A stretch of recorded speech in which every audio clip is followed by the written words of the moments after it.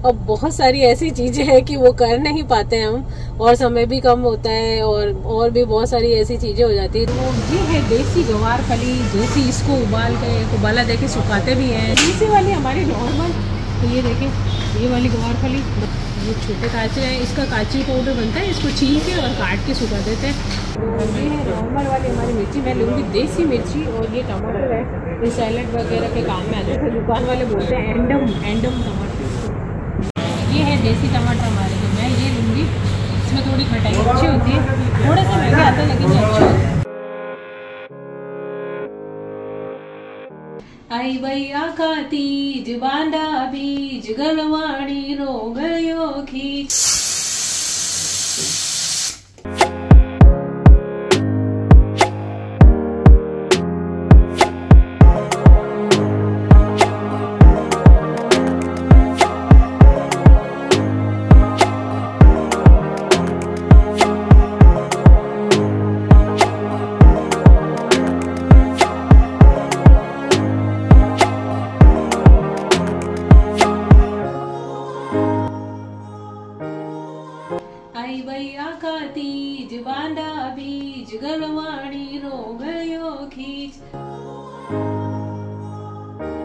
Hello friends खमागणी मैं हूँ प्रमीला सिंह और आपका स्वागत है मेरे अपने चैनल प्रमीला कुक कुक पर और यहाँ पे गाड़ी में हम जा रहे हैं। थोड़े सब्ज़ियाँ वगैरह लेके आऊँगी। सुबह का समय दूध, सब्ज़ी सब साथ में ले आएँगे। और आज है आका तीज तो सभी को आका तीज की बहुत बहुत शुभकामनाएँ। और सभी के लिए शुभ और मंगलमय हो और आप लोग भी खींच और गलवाड़ी वगैरह घर पे बनाते होंगे, मैं भी बनाऊँगी। पहले तो खींच हमाम दस्ते में, उसमें डाल के हम लोग कूटते थे। अब बहुत सारी ऐसी चीज़ें हैं कि वो कर नहीं पाते हम, और समय भी कम होता है और और भी बहुत सारी ऐसी चीज़ें हो जाती है। तो अब लेंगे हम बाज़ार से कुटा हुआ खींच बाज़ार में भी मिलता है। तो पहले तो घर पे ही कूटते थे, अर्जुन के दादू सा वगैरह सब होते थे तो वो घर का कुटा हुआ ही खाते थे। बहुत सालों तक हम भी घर का कुटा हुआ ही बनाते थे। अभी दो तीन साल से बाज़ार से लाने लगे तो बाज़ार से लेके और उसको थोड़ी देर भिगो दूँगी मैं। तो वो लेने आई थी, साथ में सब्ज़ियाँ वगैरह और भी कुछ चीज़ें ले लेंगे। तो चलिए फिर बाद में बनाएँगे खींच और गलवानी।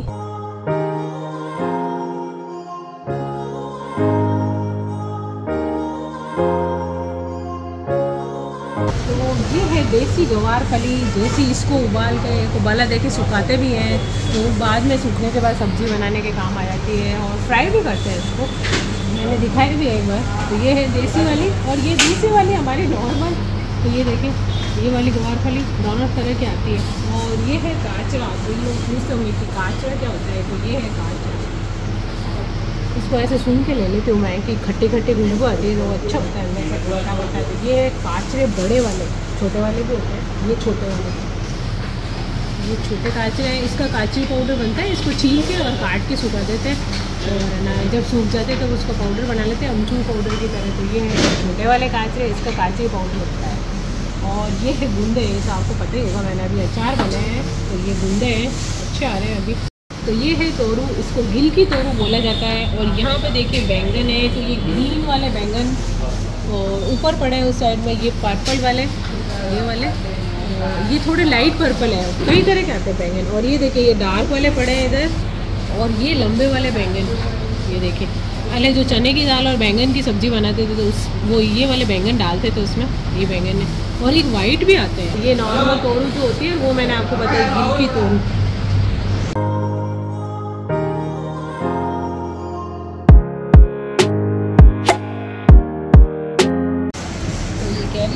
कैरी ही आने लगी। है बूंदे के साथ मिक्स करते हैं, खाली कैरी का अचार थोड़े दिन बाद बनाऊँगी अभी कैरी का तब तक गुठली पूरी पक जाएगी इसकी। हाँ गर्मी ज़्यादा होती है तो पीली पड़ जाती है। उससे पहले मैं डाल दूँगी। तो फ़िलहाल तो मैं ले रही हूँ। कभी चटनी में भी डाल देते हैं, मीठी लौंजी बना लेते हैं। जैसे किसी में भी डाल के खटाई के रूप में मिर्ची कैरी बन जाती है। कुछ भी तो मैं दो कैरी ले रही हूँ। थोड़ी सी भिंडी ले लेते हैं। इसके पापा को पसंद है। तो ये है स्प्रिंग अनियन पर अभी थोड़े बड़े बड़े आने लगे तो गर्मी में ज़्यादा अच्छे नहीं लगते हैं। वैसे तो मैं रखती हूँ हमेशा। पर अभी फ़िलहाल मैं ले रही हूँ चंदलिया, यानी चंदलाई या चौलाई बोल सकते हैं। तो ये अभी बहुत रिफ्रेशिंग लगता है गर्मी में। तो साफ़ करके रख देते हैं, फिर उसमें फिर उसकी सब्ज़ी बनाते रहते हैं। बहुत अच्छी लगती है प्याज और डाल के। नॉर्मल वाली हमारी मिर्ची, मैं लूँगी देसी मिर्ची और ये टमाटर है। ये सैलड वगैरह के काम में आते थे दुकान वाले बोलते हैं एंडम एंडम टमाटर ये वाले मैं नहीं लूँगी। ये है देसी टमाटर हमारे तो मैं ये लूँगी। इसमें थोड़ी खटाई अच्छी होती है। थोड़ा सा महँगा आता है, लेकिन ये अच्छी होती है। गर्मी में ये बहुत जल्दी ख़राब होती है तो थोड़ा थोड़ा लेता है। थोड़ा टाइट देख के ले लेता है। यहाँ पे सब्ज़ियाँ वगैरह सब धो के रख दिया। आज मैंने थोड़ी थोड़ी ली है, क्योंकि आज हम बनाएँगे खींच। तो अभी खींच को क्या है कि मैं भिगोंगी तो मैं दिखाती हूँ आपको। तो ये देखिए, ये है खींच और थुल्ली जो बोलते हैं, थुल्ली यानी दलिया, वो थोड़ा अलग होता है। ये इसको गेहूँ को थोड़ा सा हल्का सा पानी छांट के और वो उसने बना के दिया मशीन में। तो इसको जैसे कूट के भी बनाते हैं, मैंने आपको बताया माम दस्ते में कूटते हैं, गेहूँ को थोड़ा भिगो के, फिर उसका बाल लड़ा निकालते हैं झटक झटक के। तो अब इतनी फुर्सत किसी के पास नहीं है तो मैं ये, मैं भी ये कूटा हुआ लेके आई हूँ। अब इसको मैं एक दो पानी से धो लूँगी, अच्छे से धो के और फिर मैं भिगो दूँगी थोड़ा सा पानी छान के। उससे क्या थोड़ा और फूल जाएगा?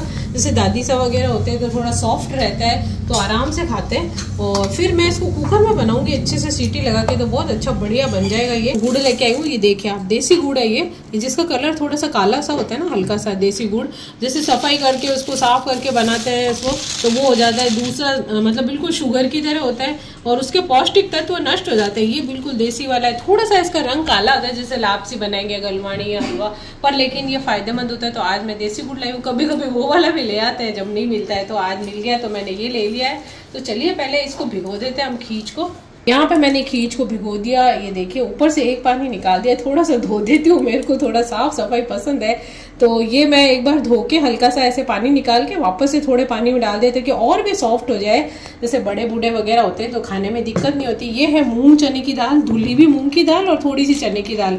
इनको भी धो के भिगो दिया, साथ में ये थोड़ी सी खींच में मिक्स करके बनाऊँगी। चाहे तो हरी वाली मूंग की छिलके वाली दाल भी डाल सकते हैं, पर थोड़ा सा इसका रंग खराब नहीं हो साथ में खींच का तो मैंने धुली भी मूंग की दाल और चने की दाल। इससे क्या है? बोले कि, बोलते हैं, बड़े बूढ़े, खींच में मेड़ हो गए, यानी कि अच्छी बन जाती घुट के, वो खींच अच्छा रहता है। तो थोड़ी सी दाल भी डालनी चाहिए इसके अंदर तो बढ़िया बनता है।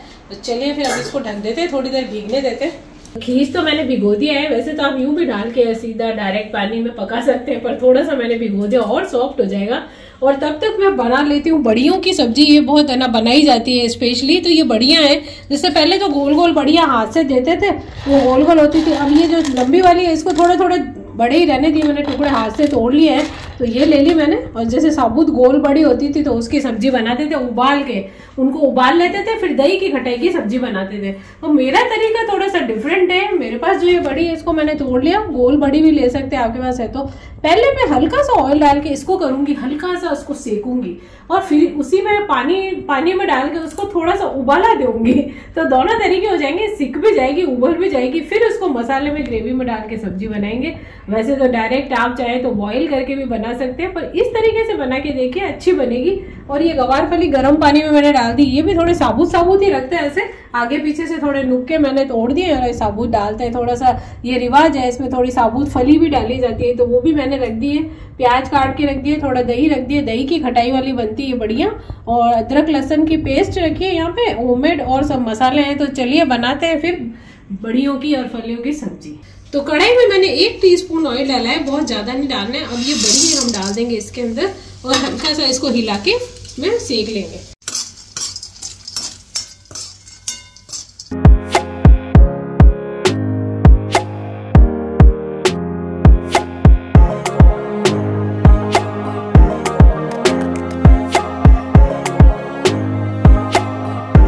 जैसे कि मैंने बड़े बड़े टुकड़े रखे हैं, जैसे साबुत बड़ी का रिवाज है।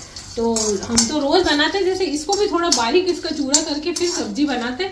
तो अभी तो ये बड़े रखने थे तो इस हिसाब से बड़े बड़े टुकड़े रखे हैं।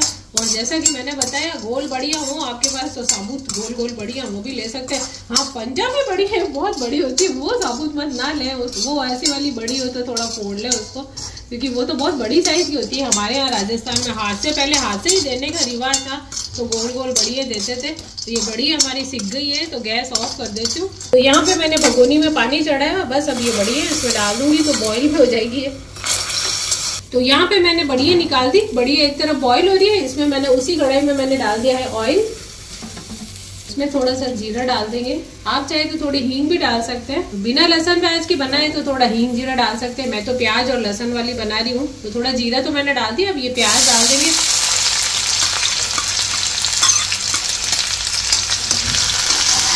हमारी बढ़िया बॉईल हो रही है, इसकी ग्रेवी यानी मसाला बना लेते हैं। हल्का सा हमारा प्याज हो गया है फ्राई तो अब ये बढ़िया साबुत वाली फलियाँ जो साबुत रखी थी हमने, वो डाल देंगे गर्म पानी में थोड़ी सी डाल दी थी मैंने तो ये भी थोड़ा सा भून जाएगी उसके बाद और मसाले के साथ पक जाएगी तो मैंने डाल दिया।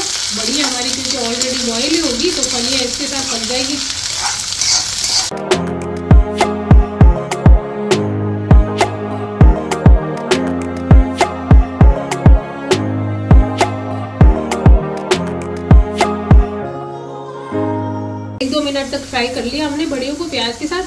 डाल दूँगी, अदरक, लहसुन की पेस्ट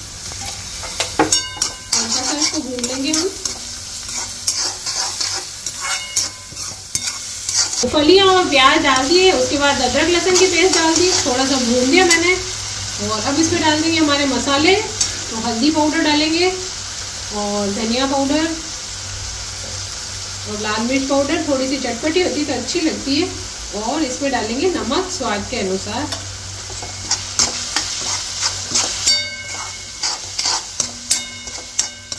मसाले डालने के बाद थोड़ा भून लिया हमने, और अब इसमें डालने पारी आती है, दही डालने की, दही की खटाई की बनती है बढ़िया।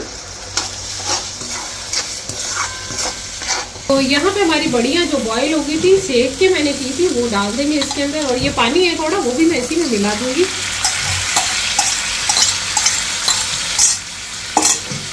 हमारी साबुत फली है और बढ़िया का स्वाद, बढ़िया का स्वाद गई तो हमारी साबुत फली और बड़ियों का साग, यानी कि सब्ज़ी तैयार है, देखिए आप। बस थोड़ा सा और पका लेंगे, थोड़ा हल्का सा पानी और डाल दूँगी। और रेडी हो जाएगी। मसाले वगैरह आप अपने हिसाब से डाल सकते हैं। मिर्च मसाले जैसे आप खाते हो। ये देखिए, ये रिवाज है ऐसा बनाने का तो मैं बना देती हूँ थोड़ा। हर एक संस्कृति, रिवाज सब बनाते हैं तो अच्छा रहता है, पता चलता है, ये आज के दिन ये बनता है, वो बनता है तो अच्छी भी लगती है ये सब्ज़ी।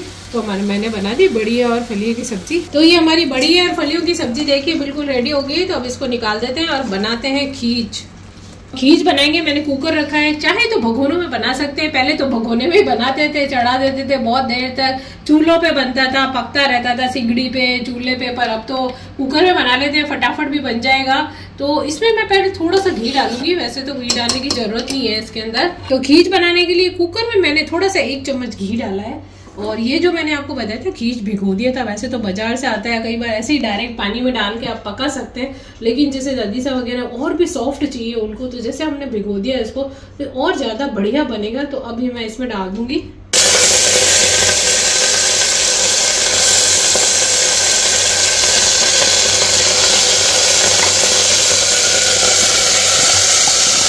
तो सा मैं इसको भून लूँगी घी में। वैसे तो जैसे पानी उबल गया है तो आप लोग उसमें डाल देते तो डाल सकते हैं। जैसे मेरा थोड़ा तरीका डिफरेंट है। अब थोड़ा सा घी में मैंने हल्का सा चला लिया। अब मैं इसके अंदर पानी डालूँगी। अब डालेंगे इसके अंदर अब पानी। तो बस अब इसको एक बार मिक्स कर लिया है। और अब इसी में मैं ये दाल भी मिला दूँगी। मूंग चने की दाल जो मैंने भिगोई थी तो वो भी हम इसमें डाल देंगे।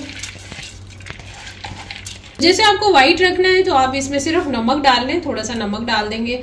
तो और अगर आपको रखना है थोड़ा सा हल्का सा कलर तो बिल्कुल हल्की सी हल्दी डाल दूँगी मैं इसके अंदर। तो थोड़ा सा कलर आ जाएगा इसमें और थोड़ा सा नमक। जैसे कि इसको गलवानी के साथ भी खाते हैं तो आप चाहे तो फीका भी रख सकते हैं हल्का सा नमक डाल लें, बहुत कम नमक वाला मीठा खाते कई जने घी, शक्कर डाल के खाते हैं। तो खींच, एक है जैसे बनने के बाद इसके रूप अनेक हो जाते हैं। तो कोई जना इसको मीठी गलवानी जो मैं बनाऊँगी उसके साथ खा लेते हैं। कई जने घी शक्कर डाल के खा लेते हैं और कई जने जैसे प्लेन खाने वाले तो ऐसे ही खा लेंगे, घी डाल के और गलवाणी के साथ खा सकते हैं। और एक तरीका है, जैसे खींच बन गया हमारा, उसके बाद कढ़ाई में मसाला बना ले। टमाटर का बन जाता है, सब्जियों का बन जाता है वेजिटेबल्स का, गोभी, मटर, आलू डाल के, टमाटर डाल के। नहीं तो आप काचरे का बनता है खींच काचरे को काट के और सब मसाला बना के, काचरे डाल के, उसके अंदर खींच मिक्स करके थोड़ा सा पका ले। तो वो काचरे का खींच हो जाएगा, टमाटर वाला मतलब जैसा भी चाहे बना सकते हैं। फ़िलहाल तो सादा खींच बन जाएगा, उसके बाद उसके रूप अनेक हो जाते हैं। चाहे तो घी शक्कर से खाएँ, चाहे गलवाणी से खाएँ, चाहे नमकीन बना के खाएँ। तो आप देख सकते हैं थोड़े थोड़े बुलबुले जैसे उठने लग गए हमारे खींच पे।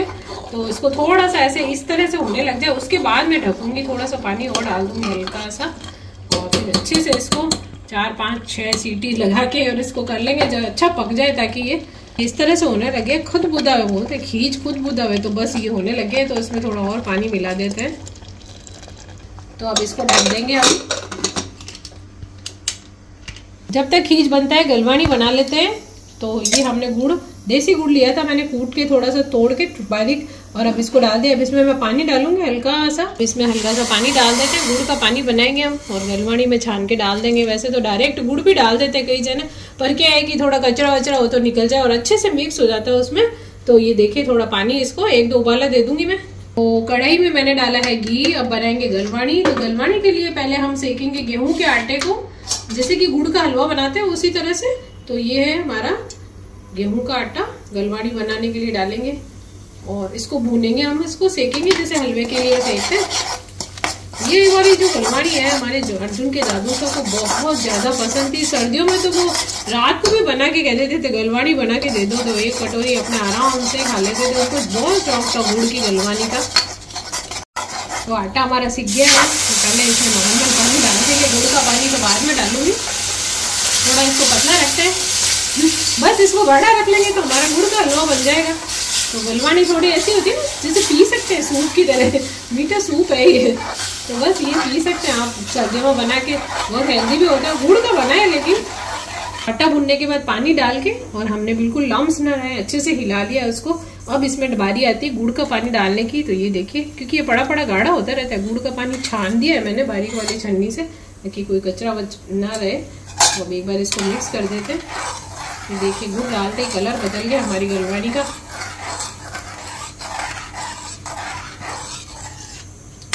इसको तीन चार उबाले दे देंगे, हमारी गलवानी रेडी हो जाएगी। आप देख सकते हैं, गुड़ का पानी डालने के बाद भी इतनी पतली है, क्योंकि ये हलवा नहीं है, इसको थोड़ा पतला रखते हैं। और ये देखिए, आप बड़ी बड़ी भी गाढ़ी होती रहती है। अगर बड़ी है कढ़ाई में और गाढ़ी हो गई तो हल्का सा पानी डाल के गर्म करते समय उसको गर्म कर लें आप। और थोड़ा सा फ्लेवर के लिए मैं डाल दूँगी इसमें इलायची पाउडर अच्छा लगता है फ्लेवर आ जाता है इलायची का। यहाँ पे उबाले आ गए हैं दो चार तो गैस ऑफ़ कर देते हैं। गलवानी हमारी रेडी हो गई है। जब भी लगे आपको खानी है गर्म कर सकते हैं और अगर लगे कि गाढ़ी हो गई है तो थोड़ा सा पानी डाल के उसको पतला कर सकते हैं। ये देखिए, अभी तो मैंने इतनी पतली रखी है, क्योंकि पड़ी पड़ी भी ये ही यानी कि गाढ़ी हो जाएगी। तो यहाँ पे हमारा खीर हो गया है रेडी तो आप देख सकते हैं। बिल्कुल अच्छा पक गया है ये। अभी पड़ा पड़ा और टाइट हो जाएगा थोड़ा सा अभी पतला है। बिल्कुल अच्छा हो गया ये। तो यहाँ पे आप देख सकते हैं, बिल्कुल अच्छा दाल भी इसमें पक चुकी है खीर भी हमारा बढ़िया हो गया है। तो खीर, गलवानी और सब्ज़ी तो रेडी हो गई अब बनाते हैं दुपड़ा वाला हमारा बाटिया। तो एक तो एक लोहे ले ली मैंने। अब इसकी मैं पतली सी रोटी बेलूँगी ये मैंने एक रोटी बेल ली। अब इसके ऊपर लगाएँगे घी। इसको स्प्रेड कर लेंगे, यानी कि फैला लेंगे इसके ऊपर। तो ये कभी कभी खाने के लिए है फ्रेंड्स रोज रोज इतना घी किसी को नहीं सूट करे तो ना खाएँ। तो ये इस पर मैंने डाला है सूखा आटा, और इसको थोड़ा सा फैला देंगे। अब इसके ऊपर एक और रोटी जो मैंने पहले बेली थी, अलग रख दी थी। तो इसके ऊपर भी मैं डालूँगी थोड़ा सा घी। तो इसको भी स्प्रेड कर लेंगे, पूरा अच्छे से पूरी हमारी रोटी पे फैल जाना चाहिए ये। अब स्प्रेड करने के बाद घी को स्प्रिंकल करेंगे इसके ऊपर सूखा आटा। तो ये हमने कर दिया स्प्रिंकल और अच्छे से अब इसको हम करेंगे फोल्ड ये देखिए आप। तो इस तरह से कर लिया, फिर वापस इस तरह से कर लेंगे। फिर इस तरह से।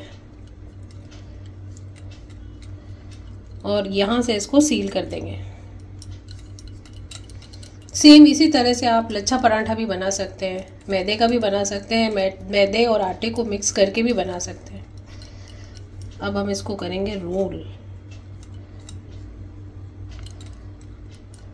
अब इसको हाथ से दबा के, सूखे आटे में लपेट के हम इसको बेल लेंगे।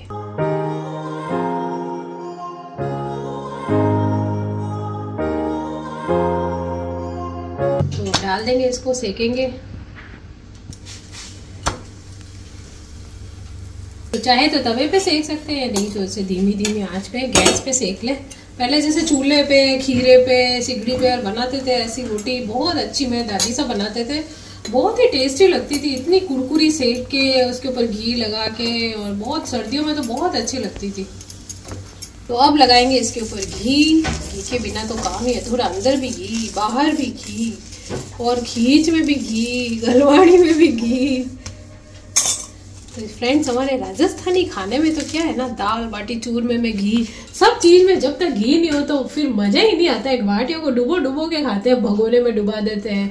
तो कम आजकल तो जैसे कम खाने जैसे हम लोग कई बार खाते हैं तो थोड़ा कम कम लगा लेते हैं, लेकिन जैसे खाना वगैरह होता है, गोट होती है, खाना होता है, पार्टी होती है तो अंदर डाल देते हैं भगोने में और बस बाटियों को फिर निकाल निकाल के परोस देते हैं। चूर में में घी, दाल में भी ऊपर से, चूरते हैं लोग, उसमें भी ऊपर से घी लेके खाते हैं। तो घी का तो आनंद ही कुछ और है। अब स्वास्थ्य के हिसाब से कम खाते हैं सब लोग। पसीना बहाने के बाद हमारी जो आखा तीज की थाली है, वो तैयार होगी। गर्मी तो बहुत है फ्रेंड्स लेकिन ये चीज़ें क्या घी के बिना तो अच्छी लगती ही नहीं है बिल्कुल भी। इसी मौसम में आती है आका तीज। तो जैसा कि कहा जाता है आई भैया का तीज बांधा बीज गलवाणी रो गयो खींच तो ये हमने बना दी है गलवाणी और खींच तो ये देखिए, ये है हमारी गरवानी ये है साबुत बड़ियाँ और फलियों की सब्ज़ी। साथ में मैंने लापसी भी बना के रखी हुई थी, जैसे कई लोग खींच नहीं बनाते तो उसमें ये गुड़ और गेहूँ दोनों आ जाते तो लापसी बना लेते हैं वो सगुन की। तो लापसी भी मेरे पास बनी हुई रखी है तो मैंने लापसी भी रखी है। साथ में दुपड़े वाला बाटिया मैंने बना दिया था, और साथ ही साथ ये है हमारा खींच, मस्त बीच में घी डाल के और खाइए। यदि आपको लगे तो इस पर घी शक्कर डाल के खाइए। दही के साथ खाइए, चाहे इसको मसाले वाला भी बना सकते हैं और चाहे गलवानी के साथ खाइए और चाहे बड़ियों की सब्ज़ी मिला के खाइए। कैसे भी खा सकते हैं। आप भी बनाइए, खाइए और खिलाइए। और आपको मेरी रेसिपी पसंद आती है तो उसे लाइक ज़रूर कीजिए सब्सक्राइब भी कीजिए। आगे भी मैंने इन सभी चीज़ों के वीडियो बना रखे हैं तो आप मेरे चैनल पर देख सकते हैं और या फिर इसे देख के भी बना सकते हैं। तो सभी को हैप्पी आका तीज।